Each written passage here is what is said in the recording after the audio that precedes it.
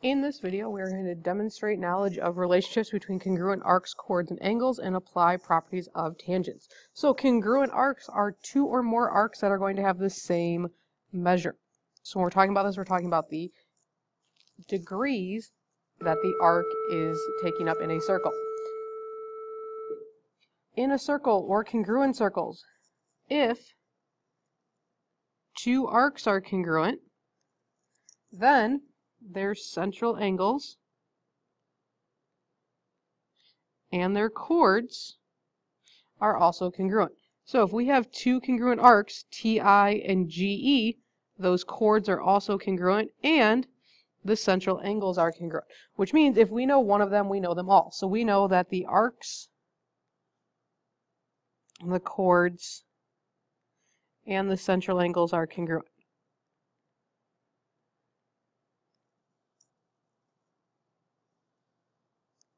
In number one, given circle O, we want to solve for x. So if I look at this, I see that this is a crossing lines which creates vertical angles. So our vertical angles are congruent, which means that these arcs are congruent. So we would have 3x plus 13 is equal to 11x minus 35. Then I go through and I solve for x, so 8x would equal 48. Divide by 8 on both sides, so x is 6. Then it also wants us to find the measure of CE. So I can substitute that into either arc. So I can do 11 times 6 minus 35. And I would get 31 degrees.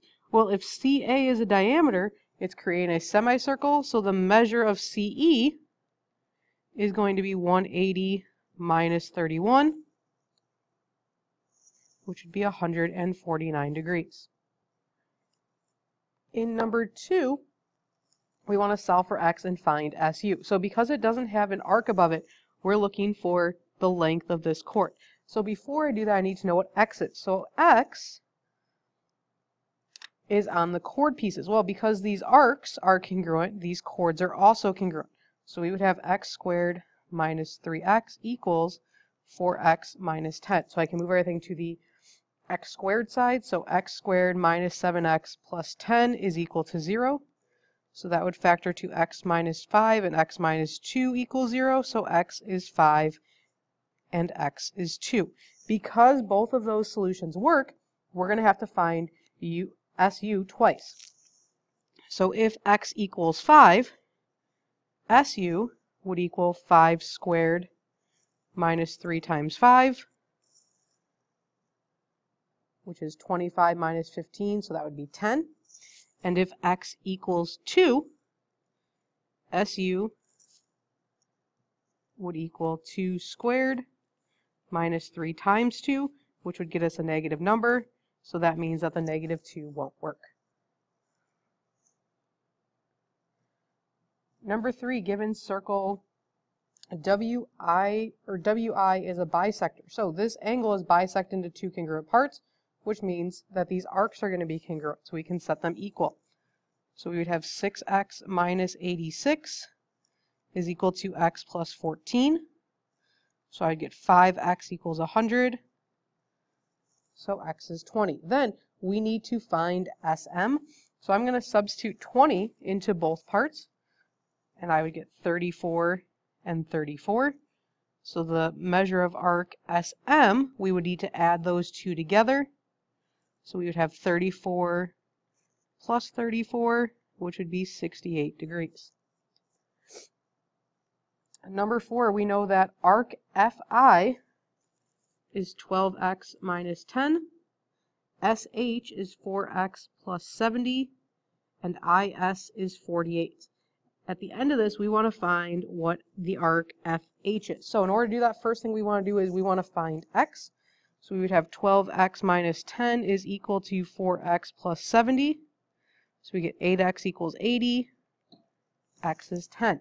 Once we know x is 10, we can substitute in, and we get that these are both 110 degrees. So to get the, the measure of FH, we would do 360 minus the arcs we know, so minus 110 minus 110 minus 48 and we would get that our arc would equal 92 degrees.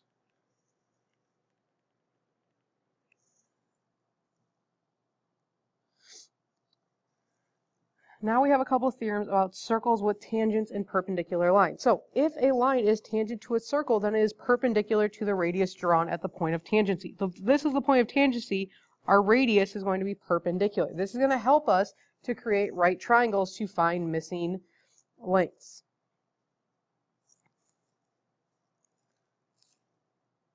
So in number one, we want to find the measure of angle ABD. Well, ABD is going to be a right angle because BD is a radius that's drawn perpendicular to the tangent line. So we would have 3x plus 27 is equal to 90. We can subtract 27 from both sides, so 3x equals 63, x equals 21. In number six, we have different lengths of segments here. So we know that all radii are congruent. So this is 9 and 9. It's going to be a right triangle because the radius is drawn to the tangent line, so that's perpendicular. So the length of this side we would call 9 plus x.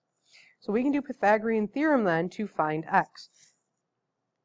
So we have 9 plus x squared equals 9 squared plus 40 squared. Now, 9 plus x needs to be multiplied together. So 9 times 9 is 81, plus 9x, plus 9x, plus x squared equals 81 plus 1,600.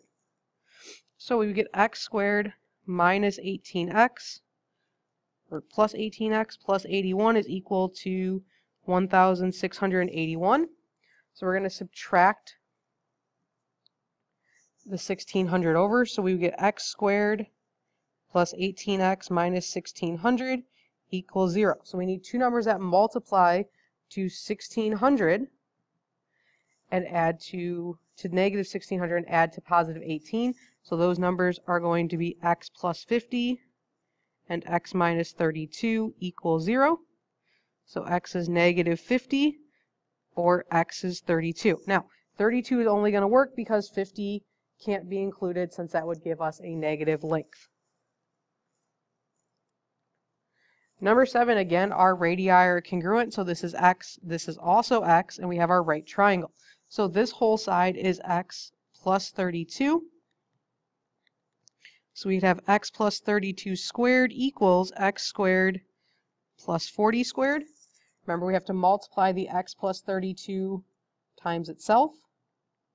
So x times x would be x squared. And continuing, we have 32x plus 32x plus 1024 equals x squared plus 1600. Now this time there's an x squared on both sides, so those cancel out and we're left with 64x plus 1024 equals 1600. We can subtract the 1024 from both sides. We get 64x equals 576. So when we divide 576 divided by 64, we would get x is 9. Number 8, we're missing the radius, but we can draw it in to create our right angle, and the radius are going to be congruent, so they're 5 and 5. So when I set up my Pythagorean theorem, this whole side is 5 plus x. So we would have 5 plus x squared equals 5 squared plus 12 squared. So that would get us x squared plus 5x plus 5x plus 25 is equal to 25 plus 144. We can move everything to the x squared side. So we get x squared plus 10x minus 144 is equal to 0.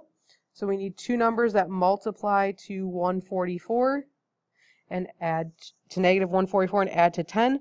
So we'd have x plus 18 and x minus 8 equals 0. When we switch the signs, x is negative 18, which would not work as a solution and x equals positive 8. Number 9, we have a triangle here, and when I draw in my radius, it's going to create it as a right triangle. The radius is congruent, so that side would be 6. Remember this whole length we combined to become x plus 6. So Pythagorean theorem, we'd have x plus 6 squared equals 8 squared plus 6 squared. X plus 6 times x plus 6 multiplies out to x squared plus 6x plus 6x plus 36 equals 100. So we can move the 100 to the other side. So we get x squared plus 12x minus 64 equals 0. So we need two numbers that multiply to negative 64 and add to 12. So we would have x plus 16 and x minus 4 equals 0. When we switch the signs, x would be negative 16 or x would be 4, and negative 16 won't work because we'd have a negative length. if there are two segments that are tangent to the circle from the same exterior point, they're going to be congruent. So it kind of looks like a sideways ice cream cone where these lines would then be congruent with each other. So in number six, we have two tangent lines. So we have x squared plus x is equal to 12 minus 3x. So I can move everything to the x squared side. So x squared plus 4x minus 12 equals 0. So we need two numbers that multiply to negative 12 and add to 4. So we would have x plus 6 and x minus 2 equals 0. When we switch our signs, x is negative 6 and x is 2. In this case, both of these answers are going to stay because they would make our segments positive. In number 8, these two pieces would be congruent, so x is 41. Once we know x is 41, 41 minus 32 is 9. These two pieces with the y and the 9 are also congruent. So we have y plus 2 equals 9. So y would be 7. Tangent lines and circles. So as we talked about earlier, a radius drawn to a tangent line creates a right angle. So in a four-sided figure, which is the quadrilateral here, we know that they're always going to add up to 360 degrees. Well, if we already have two right angles, we don't need to include those. So if we had 360 minus 90 degrees and minus 90 degrees, that leaves us with 180. So x plus y has to equal 180 degrees. So in number 10, these create right angles. So we have x plus 98 equals 180. We can subtract 98 from both sides, so x equals 82. In 11, same thing, we have the right angles, so the other two angles equal 180. So we have 3x plus 25 plus 2x equals 180. We can subtract 25 from both sides, so we get 5x equals 155, and when we divide by 5, x equals 31. Now this last problem is a question from an SAT. So in the figure, point O is at the center of the circle. Line segment LM and LN are tangent. So these are going to be tangent. They're going to be congruent. They're also going to create the right angles where they're intersecting. If the circumference of the circle is 96, what is the length of the minor arc of LN? So in order to find that, first of all, we need to know what this angle is. So if this is 60 degrees, we can subtract from 180 to get 120. Once we know that that is 120 degrees, we know that we're looking for that length. So our circumference is 96 times 120 over 360. So when we multiply that, we would get 32. So the length of the minor arc LN would be 32.